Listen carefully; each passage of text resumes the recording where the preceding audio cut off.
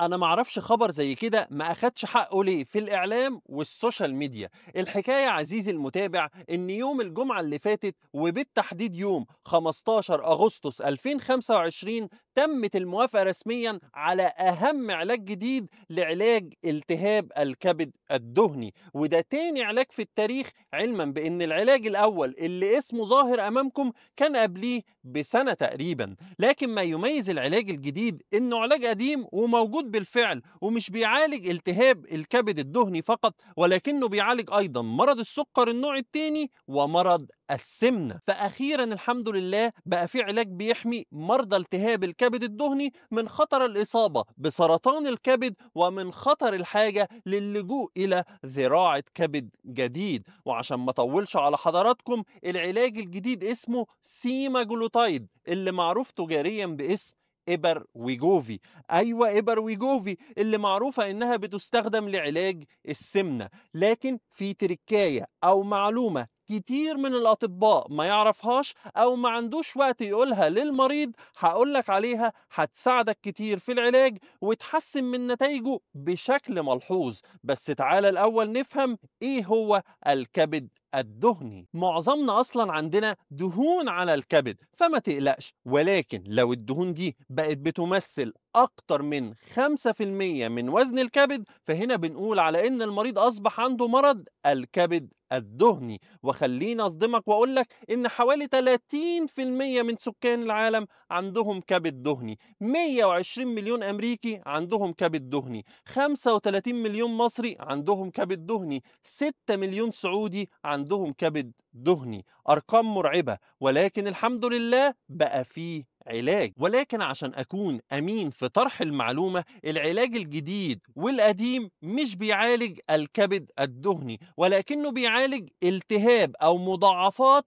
الكبد الدهني. فمريض الكبد الدهني ملوش علاج حتى الآن وما بيكونش فيه خطورة أصلا عليه طالما مفيش مضاعفات بتحصل له. وبنكتفي فقط في العلاج بتاعه إننا نعالج السبب المسبب لدهون الكبد. ومن أشهر الأسباب السمنة مرض السكر النوع التاني ارتفاع الدهون الثلاثية والكوليسترول وطبعا بننصحه ان يقلل من تناول السكريات والدهون ويمارس الرياضة. لكن بعض المرضى الموضوع بيتطور عندهم وبيحصل لهم التهاب الكبد الدهني ومضاعفاته زي مثلا إن يحصل لهم لا قدر الله ندبات في الكبد وممكن لو ما عالجناش الالتهاب والندبات دي تتطور لا قدر الله إلى تليف في الكبد أو سرطان في الكبد أو الاحتياج إلى زراعة كبد لكن بفضل الله العلاج الجديد. ويجوفي هيقلل الالتهابات ديت ويقلل من حدوث مضاعفات الكبد الدهني. الويجوفي متوفر بالفعل بخمس تركيزات تركيز ربع ملي جرام ونص وواحد وواحد وسبعة من عشرة واتنين واربعة من عشرة ملي جرام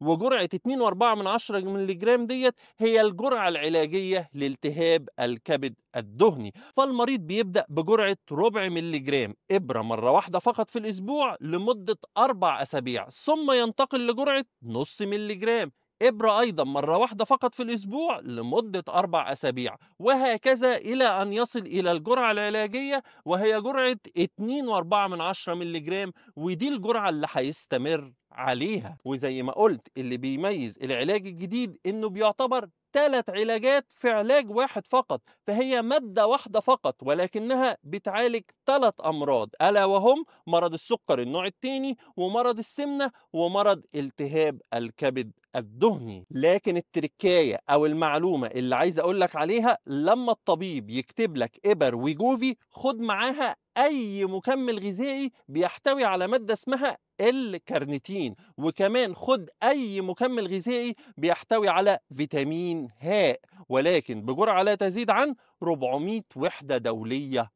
فقط فالمكملات ديت هتساعد كتير في تحسين النتائج فال كارنيتين بنسميه ناقل الدهون وفيتامين هاء مضاد أكسدة مهم جدا لصحة الكبد. كمان وأنت بتاخد العلاج ابدأ بنظام غذائي منخفض الكربوهيدرات فده أيضا هيحسن كتير من نتائج العلاج. ولكن وجب التنويه إن إبر أوزمبيك وهي الإبر الأشهر اللي بتحتوي على نفس المادة الفعالة اللي موجودة في إبر ويجوفي ولكنها ليست بديل لإبر الويجوفي نظرا لأن تركيزها أقل لأنها متوفرة فقط بتركيزات ربع ونص وواحد ملي جرام وإحنا قلنا إن الجرعة العلاجية هي 2.4 من عشرة ملي جرام كمان وجب التنويه أيضا إن إبر الويجوفي لازم تصرف بوصفة طبية تحت إشراف الطبيب وناخد بالنا إنها معروف عنها إنها بتسبب مشاكل في المعدة من غثيان وإمساك وإسهال وخلافه.